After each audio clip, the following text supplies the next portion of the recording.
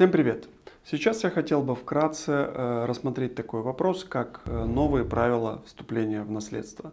Нам сейчас много задают вопросов э, по этому характеру.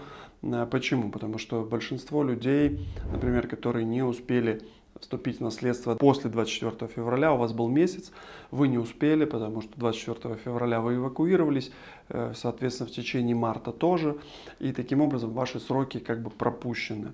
Э, так вот, здесь э, не стоит беспокоиться, все сроки, которые были, они продлеваются, то есть на период действия военного положения, то есть все сроки, которые действовали еще, да, и преподали Э, должны были заканчиваться после 24 февраля, они все продлеваются. То есть, грубо говоря, все, кто по каким-то причинам там, эвакуировался, переехал со своих мест э, проживания, переехал в другие страны, то есть вы можете, в принципе, сейчас и вплоть там, до э, отмены военного положения подать эти заявления и Э, вступать в наследство.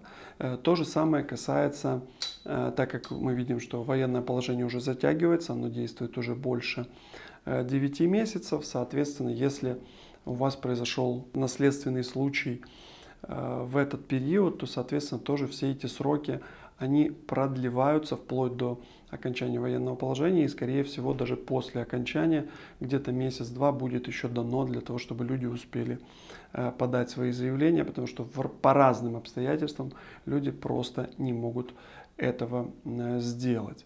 Вот. Э, также, в принципе, вы можете пробовать открывать наследственные дела, предоставив Э, вашему представителю, который есть на месте, э, соответствующую доверенность, и он может это сделать э, за вас. То есть как минимум открыть это наследственное дело. Также, в принципе, уже сейчас можно и вступать в наследство, получая право собственности на имущество, поэтому здесь ограничений нет.